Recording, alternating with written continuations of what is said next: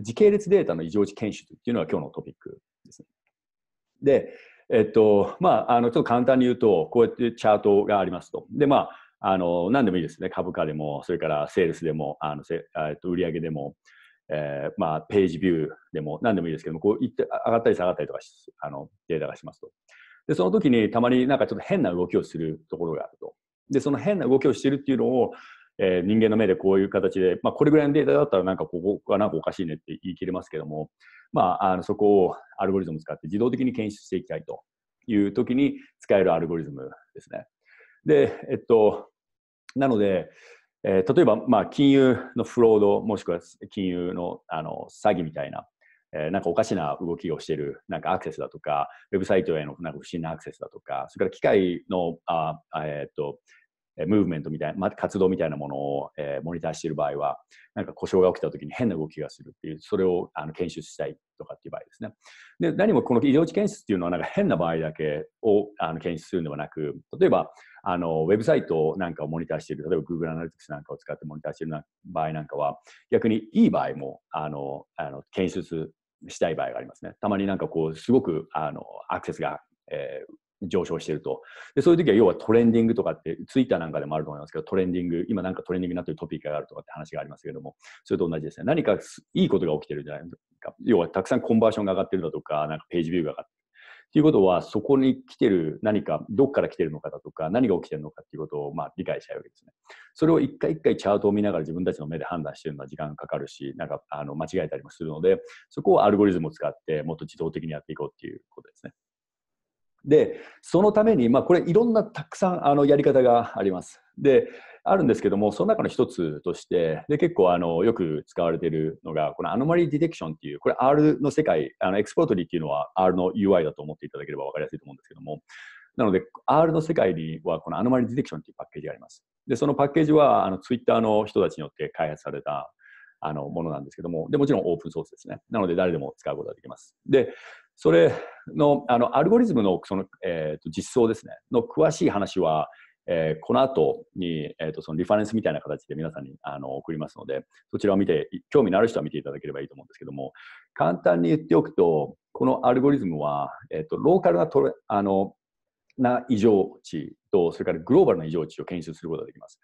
で、えー、ローカルっていうのは、まあ、例えば時間とか日だとか、まあ、そういった単位だと思ってください。で、グローバルっていうのはもうちょっとこう大きい全体的なデータを見て、全体的なこうパターンがあったときに、そこからなんか外れてるような値ってことですね。で全体的な値だと、あまりにもこう大きなあの異常値しか普通は発見できないですが、そうすると細かいところですね、例えば今月、まあ、この5年間ぐらいの異常値を検証しているときに、例えば今月のある一定の時間の間にも、なんかあのおかしな動きをしているのがあったら、そこも検出したいですよね。で、その時に、まあ、あの、このローカルとグローバルの、えー、アノマリー、もしくは異常値っていうのを、両方とも検出してくれるっていうアルゴリズムだから、これが、あの、すごいわけですね。で、あの、それを仕組みとしては、あの、一応、裏で、えっ、ー、と、モデルみたいなものを作って、で、それから、あの、季節性、シーズナリティ、季節性ですね。まあ、大体あの12月が上がってとか5月が上がってとか下がってとかっていう、そういったあの季節性だとか、それから基本的なトレンドのパターンですね。上に向いて上がってってるのか、下に上がって下がってってるのかという。なので、それを、これちょっとこの話は先週、あの前回の、えー、と時系列の予測、プロフェットを使った予測とちょっと似てきますけども、まあ、そういった一般的なトレンドだとか季節性を加味しながら、でそういったものから外れていく、その期待されている値から、えー、かなり大きく外れているっていうのを異常値として検出するっていうアルゴリズムだと思ってください。で、ちょっとあまり話ばっかりしてても、あの、面白くないので、ちょっと、えっ、ー、と、データを使いながら、まあ、どうやってこれをエクスポートの中で使っていくのことができるのかっていう話と、で、さらに、まあ、ちょっと面白いと思うので、あのいくつかのデータソースをあの紹介したいと思います。で、一つは、あの、クワンドルっていう、あの、こっちにあるサービスですけども、まあ、あの、ファイナンシャルのデータですね、を簡単に取っていくようなことができるサービスがあるんですね。で、実はこのクォンドルっていうのは、オルタナティブデータっていうので有名で、いわゆる今までのような株価のデータだとか、まあ、あの政府から出てくるようなデータ以上に、そうではなくて、例えば、アップルっていう会社があったら、それのなんかこう持ってるインベントリのデータだとか、ソーシャルあのネットワークでなんかみんな会話してるデータだとか、なんかこう今までのトラディシ、えー、っと典型的なデータじゃない、なんかいろんな形で取る取ってくることができると、例えば会社に対するデータだったりとか、まあ、自分のポートフォリオに対するデータです、で。そういうデータを使うことによって、単純に今までの歴史的な株価の流れだけで分析するよりも、もしくはこのあの経済指標だけで分析するより以上の効果が出せるっていうので、まあ、熱いわけですね。で、あまりにも熱すぎて、えー、先週か2週間前ぐらいに、アメリカでは、え、ナスダックがあの買収したぐらいのあの勢いのあるスタートアップですね。でそのデータを使って、えーと、今日は後でビットコインのあの価格変動のデータを取ってきて、でちょっとあのこのアノマリディテクションというアルゴリズムであのちょっとデモします。でもう一つ、2番目が株価のデータですね。で、このクワンドルでも取ってくることができるんですけども、えっ、ー、と別の、えっ、ー、とパッケージがあって、で、それでも簡単に取ってくることができるできるので、それもちょっと紹介します。で、最後が Google Analytics ですね。で、皆さんもなんかウェブマーケティングとか、もしくは自分たちでなんかウェブサイトを持っている人なんかは、結構 Google Analytics のなんかタグを埋め込んで、で、自分たちのウェブサイトをモニターしてたりとかすると思うんですけども、えー、そういったデータの中から、えー、アノマリディテクションあのアルゴリズム使うと、なんか何が面白いなあの、なんか役に立つことができるので、そこもちょっと紹介したいと思います。では、えー、っと、そのクワンドルっていうサービスのからビットコインのデータを取ってくるっていうところからちょっと始めましょ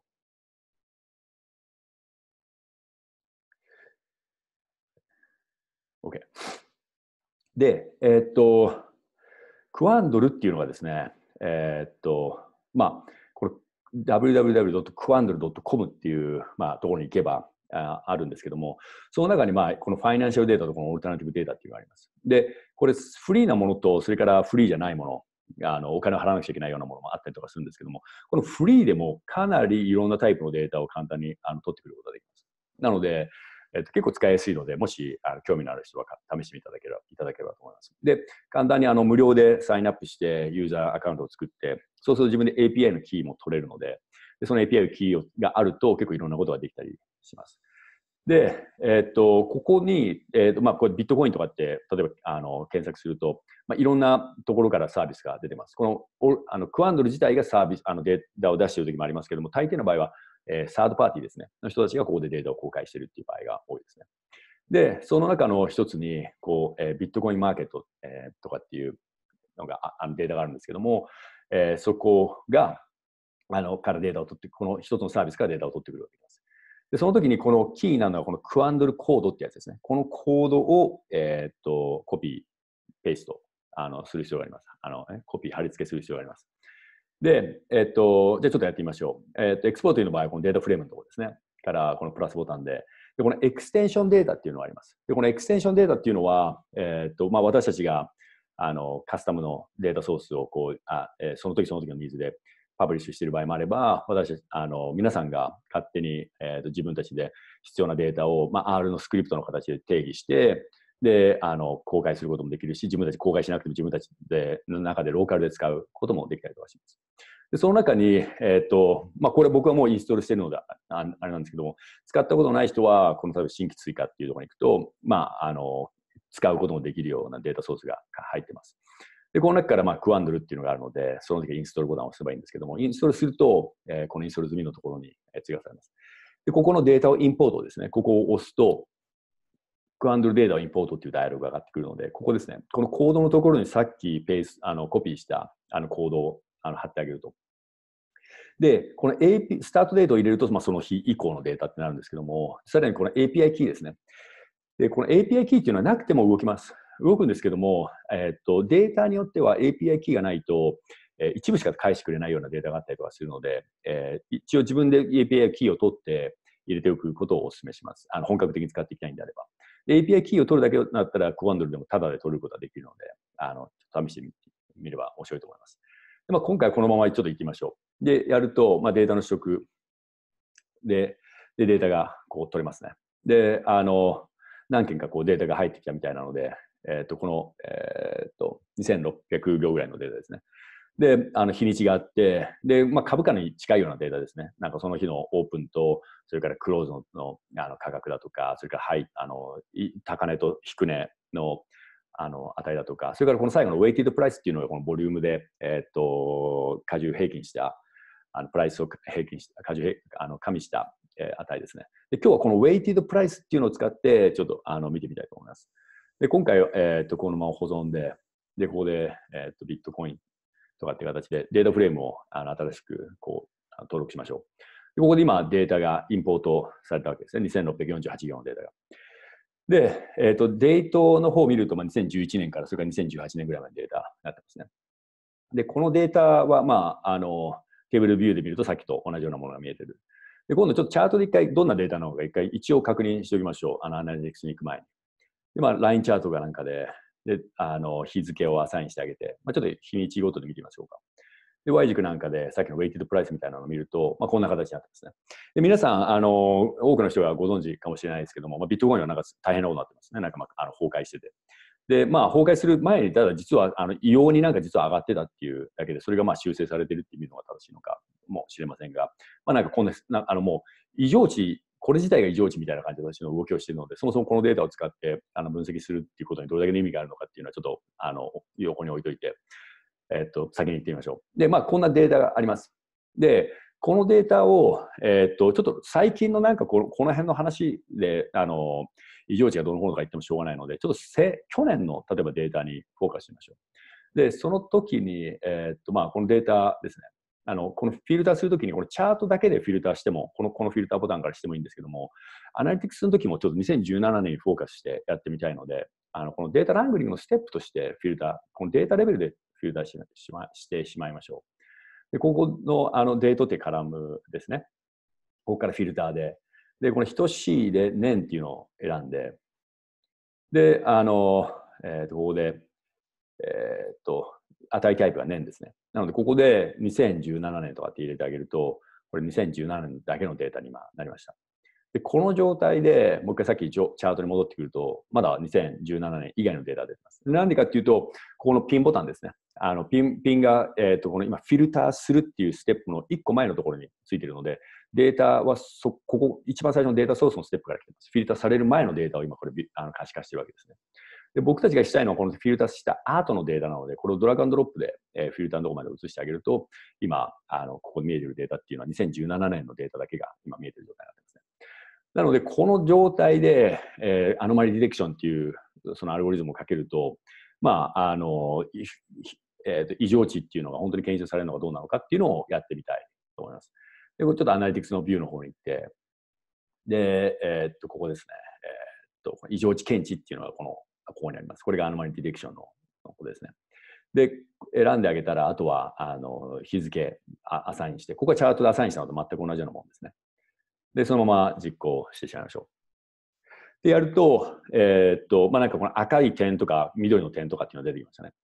で、この緑の点っていうのが、えー、っと、ポジティブ、あの、正の方向に、えー、異常値だっていうやつですね。で、赤はその逆で、負の方向に異常な値だっていうことですね。で、何をもって異常って言ってるかっていうと、これは裏のモデルが、大体これぐらいに、その、あの、一般的なトレンドだとか季節性とかを加味すると、大体これぐらいの値になるだろうっていう、この期待値っていうのが実はあります。で、その期待値に比べてあまりにも離れてるっていう時に、えー、異常値だとしてるわけですね。なので、まあ、ここですと、えー、っと、ちょっと見やすくするために、えー、期待値っていうのが、えー、1万7802って書いてますね。これドルだと思うんですけども。でそれに対して、えー、1万9110ってなってるので、まあ、これだけ離れてるから、あの、異常値だと、あの、なってるところですね。で、えっと、まあ、この辺なんかは、ここは、まあ、そんなにあの離れてるわけではないですけども、ただこのローカルですね、この、えー、細かいレベルでもあまり大きく、大きなものを、あの、えーと、グローバルなレベルだけのアノマリーじゃなくて、異常値だけじゃなくて、この小さいレベルでも検出することができるので、まあ、こういうちょっとしたあのディップみたいなのも、まあ、私たちの目からするとなんかこの辺に何か起きてるんじゃないかって言えますけども、アルゴリズムでもしっかりと検出されてると。で、えっと、ちょっと今、このバージョンの Exploratory に実はなんか最近バグがあって、この日付ですね、日付がちょっとタイムゾーンの関係で、1日ちょっとずれちゃってるんですね。なので、これ実は2017年の11月12日なんですけども、大体こういう異常値がある、例えば株価的なものだと、なんか異常値があるってことは、まあ、特にビットコインですね、こう、ニュースによって何か影響を受けている場合があったりとかするわけですね。で、まあ、するわけなのか、そうじゃないのかっていうのもあると思うんですけども、で、例えばこの2017年11月11日っていうのは、実はこれ11月12日のことなんですけども、ちょっとさっきあの前に、えーと、ググってみると、この11月12日ですね。で、この日っていうのは、えー、っと、なんかすごく、あの確かに、で、あの、えー、っと、かあの価格がすごく下がった時らしいんですね。でその時っていうのは、この実はこのちょっと前にこのビットコインキャッシュっていうのが、これあのフォークされたバージョンですね、もともとのビットコインの。で、それが出てきて、そっち側が盛り上がってるっていう影響で何かこう、あの、下がってきてるっていうのがあったらしいんですけども、まあ、そういう時に、あの、だから、なんか異常な下がり方をしてるっていうのは、まあそういう影響があったのかなっていうのを、まあこう簡単に見ていくことができるわけですね。で、えっと、まあ、これが、えの基本的な、まあ、異常値検出、時系列データに対する異常値検出で、まあ、こういうのを見ながら、まあ、どの辺でおかしかったのかっていうのを、まあ、自分の目で捉えるっていうよりも、まあ、こうアルゴリズムにこう検出してもらって、でそこを例えばまあニュースを調べるだとか、会社の中で何があったのだとか、もしくは何かこれが、これビットコインのデータですけども、例えば自分たちマーケティングのキャンペーンをしてたんだったら、何かその辺にやって、何かやあのやってるプロモーションみたいなことがあるのかないのか、あるんであればそれが本当に効いてるのかどうなのかみたいな話をしていくことができるわけですね。で、まあ、ちょっとこれは、あの、始まりのすごく触り的な部分ですけども、ちょっと、あと2つ別のデータソースの方を見ながら、もうちょっと話を進めていきたいと思います。で次に見たいのが、今のはこ、えー、クワンドルでしたけども、ちょっとじゃ株価のあのデータも持ってきて、でそれにまたアノマリディテクションをかまして何ができるかというとましょう。でその時にもう一回またエクステンションデータっていうところに行くと、えー、とこのヒストリカルストックプライスっていうのがあります。ヒストリカルというのは歴史的なところですけども、株価ですね。ストックっていうのは株で、プライスが価格ですね。なので株価のデータを取ってくることができます。で、ここでまあデータをインポートで、えー、とここはもう単純に株を入れてあげればいいです。で、ここは、えー、と日本の株でも確か動いたと思いますし、あのニューヨークストックエクスチェンジだろうが、あのナスダックだろうが、まあ、このコードを入れてあげれば動きます。で、複数入れたい場合は、まあ、こういった形でこう、あの、カンマで、あの、区切っていければ、あの、取ってくることができます。で今回ちょっと話を簡単にするために、えっ、ー、と、ちょっとテスラだけで、えー、見てみましょう。で、まあ、2000、多分10年ぐらいですかね、えー、から、ちょっと、えっ、ー、と、取っていきましょう。ということで、えっ、ー、と、開始日だけ入れて、で、データを取ってくると、まあ、あの素早く取ってこれます。でこれまあデイリーですね。あの毎日のデータですね。で、さっきと同じように、まあ、オープンと、それから、まあ、低値、あの底値と高値があって、それからボリュームですね。あのどれだけのあの株のトランザクションがあったかとか。でそれからあのあのスプリットなんかを考慮した Adjusted あののプライスもあであります。で今回ちょっとこのまま、えー、単純に取ってきて、で、まあ、テスラのなんかストックみたいな形でデータフレームを新しくここに作ります。で、さっきと全く同じような感じですね。全くじゃないですけど、ほとんど同じような形ですね。で、このデータをもう一回、えー、っと可視化して、えーまあ、一体どういうものなのかってちょっとあの頭に入れておきましょう。なので、またデートを、まあ、非レベルで見てみましょう。で、今回は、あの、アジャスティットっていうのを見ると、まあ、大体こんな形になっていると。なので、テスラの株価っていうのは、まあ、結構上がってますね。ここ、あの、まあ、2013年、14年に比べたらですけども。で、えっと、この動きに対して何か、あの、またアノマリみたいなことが、あの、あるのかどうかっていうのを検出したいということですね。で、このアナリティクスの方に行って、で、また、えー、ここに時系列予測っていうのが、あ、あ時系列じゃなくて、あの、異常値検知検知ですね。今回やってるのは。で、ここに、えー、デートの列をアサインしてあげて、で、 Adjusted で、で、ちょっと取ってきてみましょう。で、やると、えー、っと、まあ、こんな形でなんか出てきます。で、これ、なんか、あの、すべて青真っ青になってるんですけども、実はこれ、ズームインすると、えー、っと、これ土日のデータがなんかこれゼロになっちゃってるので、これ実はなんかこう、行ったり、あの、毎回毎回こう、5日分上がって、で、下がるみたいな形になってるわけですね。で、その中の、まあ、どっかの部分っていうのが、まあ、なんかこう、期待されてたよりも下がってるだとか、期待されてたよりも上がってるから、それが異常値で何かあったんじゃないのかっていう。例えば月曜日っていうのは大体期待されてたのはこの辺なのに、まあ、この、この異常値と期待値っていうのを見れば、あの、わかると思うんですけども、まあ、期待されてたのはこれぐらいなのにもかかわらず、えー、これ、あの、これだけ低かったとか高かったとかっていうことですね。で、えっと、ちょっとこれ、あまりにもデータが多すぎて、あまり意味があのよくわからないので、一回ちょっと今年だけのデータにしてみましょうと。で、今回はこのチャートのレベルのフィルターちょっと使います。で、ここのプラスボタンがあるので、そこからフィルター作って、あの、使って、で、今回は2017年とか18年とかするんじゃなくて、こう YTD、まあ、あの、今年の今日までのデータっていう形でフィルターしちゃいましょう。そういう時はこの相対日付とかっていうのを使うと便利です。で、まあ日付タイプっていうのはまあ年だとかいろいろあるんですけども、年で、で、そうすると、この値タイプのところに、例えば去年だとか、今年だとか、もしくはその YTD ってやつですね、年初来っていうのを、まあ、こうやって選ぶであげることができます。でこれで実行すると、それだけのデータをあの一回フィルターして、でそのデータに対して、えっと、あの異常値検出っていうのをあの見てきてくれることができるんですね。で、ここで見てみると、なんかここに1個すごく高く、なんかこう一気に上がってるところがありますね、この辺で。ここですね。で、ここ期待されてたのは、まあ324ぐらいのあのドルだったのが、なんか急に一気にここに379ぐらいに上がってくると。で、これがのは何があったのかなっていうのが、あの、私たちがもうちょっと調べたいことですよね。で、これもちょっとググってみたんですけど、ググってみたというか、ツイッターでちょっとサーチかけてみたんですけども、そしたら、このイーロン・マスクですね、あのテスラの CEO。でこの人はなんかツイッターでいろんなコメントをあのみんなをあの驚かす、もしくは賑やかす、あのタブロイドが大好きなような、になるようなコメントをすることで有名ですけども、この8月の7日ですね、8月7日にこの人、あのいきなり、え、テスラを、あのこれ一般公開されてる会社なんですけども、あの株がですね、えーと、プライベートにすると。で、しかも420ドル、その時はもっと低い値で取引されたと思うんですけども、ちょっとプレミアムをつけて420ドルですると。で、このニュースによって一気に市場にの人たちがあの株を買い始めたりとかしてたんですね。なので、実は、まあ、そこの、これちょっとさっきも言いましたけど、ちょっと1日ちょっとバグのせいでずれてるんですけども、次のバージョンで直ってきます。で、まあ、これ8月7日と考えてください。なので、この動きっていうのは、まあ、そういう、えっ、ー、と、イーロン・マスクのコメントでかなり変わってきたんだと。なので、えー、このイーロン・マスクっていう人は、このテスラの株価に対して、このイーロン・マスクのツイッターをモニターしておくっていうのはすごく重要だっていうのが、まあ、あの、こ,、まあ、ここに関しては、こあのここだけを見ると、まあ、言えるのかなっていう形ですね。で、まあ、ちょっとそれはあの株価を使いながら、まあ、こうやって異常あ異常値検出なんかもできるよっていう、まあ、ちょっとあの話ですね。で、ここからもうちょっと、じゃあビジネスであの実際になんか使ってる、まあ、例えば私たちがどうやって使ってるかみたいな形の話までちょっと最後に言ってみたいと思います。でそれは、えー、っとこ次のデータなんですけども、この Google Analytics ですね。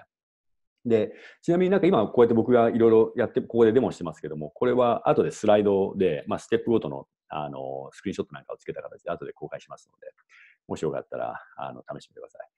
で、えっ、と、このクラウドアプリケーションデータっていうのがあのあるので、まあ、その中にまあいろいくつかあります。で、そのうちの一つは Google Analytics なんですけども、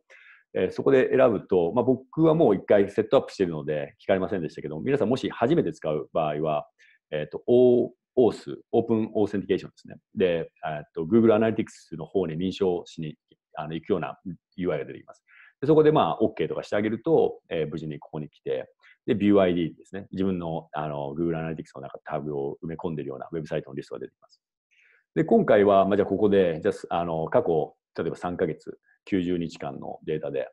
で、 dimension としては、まあ、あのデートっていうのと、それからどっから来てるのかっていうのを知りたいんであれば、例えばソースだとか、それから国ですね、どの国からのあのオーディエンスが多いのかとか、見てみたいと。で、まあ、 metrics として、まあ、ユニークあのページビューだとか、まあ、いろいろコンバージョンだとかなんで、あのいろいろ、なんでもいいんですけども、今回ちょっとシンプルにするために、まあ、これぐらいのデータで始めてみましょう。なので、こういった dimension とこういった metrics。この辺の詳しいことを知りたい場合は、このクエスチョンマークをクリックしていただくと、あの Google Analytics のページに飛んで、あのもうちょっと詳しい解説が載っています。で、このデータの取得で、えー、じゃあ実際にこの Google Analytics のデータを取ってみましょう。でこのデータは、あの、えー、日にちがあって、日にちごとに、えー、どのソースですね。これダイレクトっていうのは誰かが、まあ、それこそ E メールかなんかのリンクを押して、いきなりダイレクトで、えー、例えば expert.io にアクセスしてきたとかって場合ですね。で、それから、あの、Google のサーチで来た場合は Google で書いてあったりだとか、Facebook から来た場合は Facebook で書いたりとかしてるわけですね。それから、あの、カントリーは、まあ、どの国から、まあ、これは自明ですよね。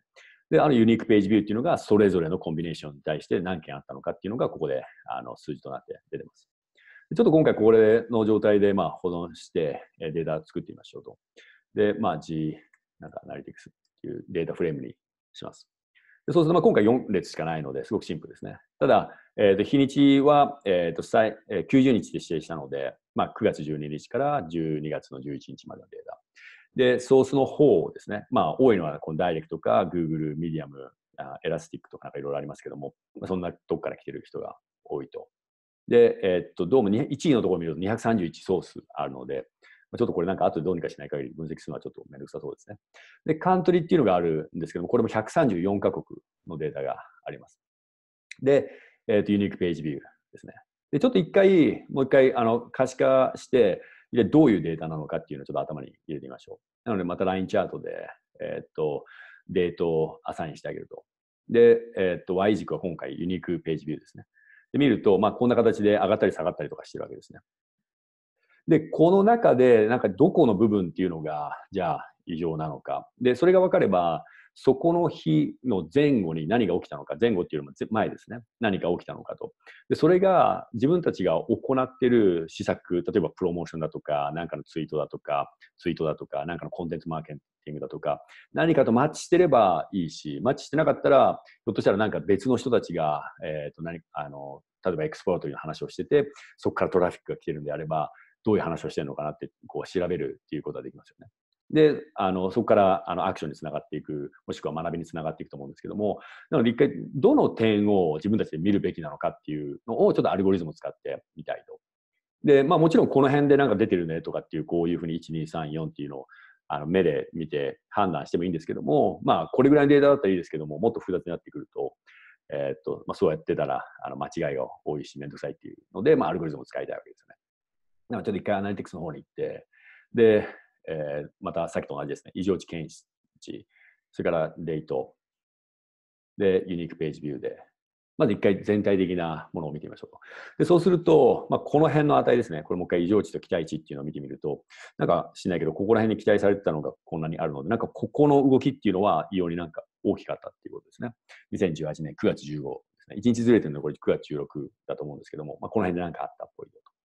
で、それから、えー、っと、まあ、この辺ですね、えー、10月17日だとか、10月29日っていうのも、期待されたよりもなんか上がってるっていうのがあるんですね。で、ここで、えー、っと、一つ、ちょっと、あの、実はこういった異常値検出を検出するのって、これを、これはアノマリディテクションっていうそのアルゴリズムを、もしくはパッケージを、R のパッケージを使ってるんですけども、実は別の方法で見ることもできます。で、それは何かというと、前回のオンラインセミナーでも話した、あの時系列予測のプロフェットを例えば使ってあげると。で、あの、そこで、えー、非アサインして、まあ、ユニークページビューで、で、これでまあ実行してあげると、今回はちょっと違うアルゴリズムを使ってるわけですけども、これは過去のデータをもとに、えー、予測モデルを作って、で、その、そのモデルが出してくるような値っていうのがこのオレンジですね。で、この青っていうのは実測値なわけですけども、まあ、大体このモデルはこれぐらいの範囲、こういう値の動きをするだろうと。で、このオレンジのね、この帯みたいな、このバンドっぽいやつですね。エリアみたいなやつですね。で、それは、あの、この場合は80%、あの、アンサーテンティあのインターバルとかっていうんですけども、まあ、80%ぐらいはこの値に来るでしょうっていう、あの、エリアだと思ってください。この赤い線、オレンジの線にマッチしなくても、大体このエリアにあの値が入ってくるでしょうって言ってるわけですね、モデルが。で、そうすると、そこに入ってないっていうことは、何か特別な、要はその全体的なトレンドだとか、それから全体的なこの季節性ですね、っていうものに対し、から大きく外れているっていうことなわけですね。なので、それをもって、これはちょっと異常値なんじゃないかっていう考えることも、まあ、できますよね。でそういう意味では、この9月16日だとか、その10月18日だとか、それからこの11月13日っていうのは、何かちょっとあったんじゃないのかっていう一つのヒントにはなりますね。で、今度このデータ、この、ここのインサイトとこのインサイトを比べると、まあ、もちろん似たようなことは見えてるわけですね。例えばここの9月の15、これもう一回言いますけど、1日ちょっとずれてるのです、あの先ほどと日にちが全く一致しないですけども、まあ基本的に同じことだと思ってください。で、こういうあたりがあのあると。で、若干まあ違いもありますね。例えばここはなんか検出、このアルゴリズムでは検出されてないとか。で、逆にこのアルゴリズムのユニークなのは、この辺ですね。この辺も、えー、異常値だとして捉えてると。で、こういうのがあのローカルって言ってる部分ですね。なので、全体的なグローバルっていうのは、もう全体的なこの一般的なこうトレンドから離れてるのが、をこういう、まあ、異常値だと考えると、そうじゃなくて、まあ、今度た、このローカルな部分で見たときに、なんか異様な動き、ちょっとパターンから外れてるような動きをしているところは何なのかっていうのが、まあ、取れるわけですね。で、えっと、さらにじゃあここから今これ全体的になんかここ分かったんですけどもじゃあここのじゃあ、えー、9月15日のあたりに何が起きてるのか見たいと。でこの時にさらに実はこの繰り返しっていうのを使って例えばカントリーごと国ごとで異常値検出をすることはできないのかと。つまり、ここのなんか飛び出てるのは、どっか特別な国から来てるのか、それともなんかどの国でも同じようなことなのかを見極めてみたいっていうのはあるかもしれないですよね。で、それをしたいんですけども、今、実はこのカントリーっていうのが、えー、この134個もありますね。で、この134個を元にやってしまうと、えーえー、と繰り返134回繰り返されて結構大変なことになるのでで、例えばここのチャートボタンを押してあげると、こういうのってあのほとんどの国っていうのはあまりエントリーがないですね、そもそも。で、たまたま例えばそれこそですけど、ザンビアからエクスポートリーの .io にアクセスしてきてくれる人が、まあ、いるっていうことは嬉しいんですけども、まあ多分1回か2回かなんかまぐれみたいな形ですよね。あったとしても。で、ほとんどはまあ大体この辺に固まってるわけですね。なので今回はこれ Japan とか United States って書いてますけども、こうトップ5個ぐらいの国にフォーカスして、例えばですけども、で、あとはもうアザーっていうくくり、その他にくくりにしてしまって、で、6個のあのエリアに分けて、それぞれで異常値検出をしてみたいと思います。で、そのためには、あの、簡単にこの UI から、あの、あの列ヘッダーメニューから、そういう設定することができます。っていうのは、このカントリーの列ヘッダーメニューから、このその他グループを作るっていうのがあるので、で、ここで低頻度、高頻度の値をその他にすると。で、これは、あの、この行の数ですね。行の数が多いところだけを残すっていう形で考えてください。なので、えっ、ー、と、毎日毎日アクセスがあるような国だけを残したいと。その中でもトップ5を残したいみたいなことですね。でそれをやると、まあ、この mutate っていうステップが、あの、この右側にこれから作られることになるんですけども、この n イコールっていうところに、5ってやると、上から5個っていうことになります。でこれ既存列上書きで、まあ、今回はまあいいと思うので、そのままいっちゃいます。でそうすると、えー、今この country ですね。この列が、えー、っと、いくつかちょっと変わったと思うんですけども、一つはこのレベルのって書いてますけども、この、えー、っと、レベルの数ですね。まあ、あの、値の数が今6個になりました。っていうのは、さっきの上から5個と、それからアザーっていうのを入れて6つになったってことですね。それからこのデータタイプが、これファクターですね。この1個前、この今のステップの前はキャラクターだったものが、今ファクターになりました。で、ファクターっていうのは、えー、R の中の一つのデータタイプで、で、基本的には categorical、あの、このキャラクターとすごく近いんですけども、何が違うかっていうと、オーダー、あの、順番ですね。順番の情報も一緒に持つことができるようなデータタイプです。なので、今、順番が、これ、インド、 Japan、スペイン、 United Kingdom、United States ってなってます。これ、あの、アルファベット順で、あの、上から5個取って、それをアルファベット順で上から取ってきてるっていうだけの話なんですけども。で、これまた、例えば自分が United States だとか Japan を1番目にしたいっていうんだったら、そういう設定は、まあ、あの、この辺の値の順序セットなんかを使ってやることができるんですけども、まあ、今回ちょっと気にし気にしておいてほしいのは、このファクターとキャラクターの違いっていうのは、ファクターっていうのは順序っていう情報を持っているっていうことですね。で、まあ、これ今6つになったので、本当やりたかったのは、このアナリティクスのところで、このリピート、繰り返しですね。ここに、えっ、ー、と、 country っていうのアサインしたいと。で、ここで気をつけなくちゃいけないのは、実はこれ今、アイコンがまだ A、これキャラクターになってますね。で、なぜ F になってないかっていうと、このピンボタンがまだデータソースのところになっているということは、ここで見えているデータ、この列名も含めて、含めてデータソースのステップから今来てるんですね。で、これ僕たちは今この mutate で何か処理をしたので、ここの処理した後のデータを、え、使って分析したいので、このピンの位置をちょっとずらしてあげる必要があります。ドラッグアンドロップで。でそうすると、えー、この繰り返しのところに行くと、今カントリーというのはこの F になってますね。なので、ファクターの F ですね。で、ここでまあ繰り返しで選んで、で、実行すると、えー、っと、えー、めでたく、あの、この5つ、トップ5の国と、それからアザーってなってますよね。で、これ見てみると、どうも、えー、さっきの、なんかこの一番最初に飛び出てるやつですね、この9月15日の。っていうのが、どうもこれ、アザーのところでなんかすごく大きい動きしてますね。で、まあ、例えば、この Japan とかっていうんでは別に9月15日っていう、えー、っていうのは特にめでたい日でもなんでもないってことですね。 United States もちょっと 9, 月15日はちょっと飛び出てますけども、まあ、このデータの中では特にあのそんなに特別な時ではなかった。他に逆に異常なところがあったわけですね。で、えっと、インドでもちょっと特別。あと、 United Kingdom でもちょっと特別。なので、なんかこう、一部のところでなんか、あの、おかしな動きを、あの、この場合はいい動きかもしれないですけども、まあなんか、あの異常な動きをしているっていうことが分かってきたと。で、ここで分かったんであれば、次のステップとして、じゃあその、これはどっから来てるのかな、何が起きてるのかっていうことをもう一つ知りたいですよね。で、その時に、まあ、あとはチャートなんかに行って、で、もともとさっきの、あの、あ、これちょっと新しいチャート作りましょう。で、まあ、あの、ラインチャートで、えー、っと、このユニークページビューを見てるわけですけども、どこから来てるかっていうのを知りたいわけですよね。なので、この時に、じゃあ、色で分割っていうのをで、えー、と総数みたいなのをアサインしてみましょう。でやると、これ231件、あのソースが231種類ぐらいあるんですね。いろんなところからまあ来てるからだと思うんですけども。で今回は、この、こういう場合に、さっきのように、えっ、と、この、このソースっていうのも、その他グループを作るってやってもいいし、そうすると、まあ、ここに、この mutate のステップで、あの、あの、あの参照できるようなデータになるんですけども、実はチャートだけ、今回ここだけでやりたいんであれば、もうこの場合、もうあのソースっていうのはアサインしちゃって、こうですね。で231あるのでちょっと時間かかりますけども、まあ、こんな形になってますと。で、これ、あのかなり見にくいですよね。意味がないようなチャートになってますね。このトップ2つ以外は。ただ、ここの色で分割のこのあのネジアイコンのところに、実はこのアザーグループを作るっていうのが、実はチャートの中にあったりします。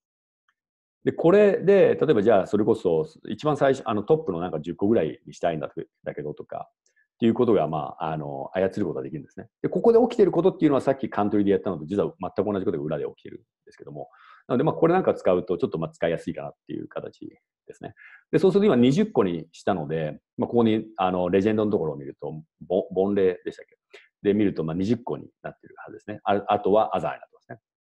で、えっ、と、ちょっとアザっていうのを出したくないんであれば、ちょっと一回このアザグループを表示しないっていうのをチェックしちゃって、すると、まあ、一番多いのはこれダイレクトですね。なので、なんかこの日に、えっ、と、それこそメールだとか、なんかしないけど、なんかこう URL をいきなりクリックしたような人たちが、まあ、いたと。で、ただ、ここになんか一つ、あの、山があるのが見て取れると思うんですけども、ここですね、この、あの、この色ですね、reddit.com。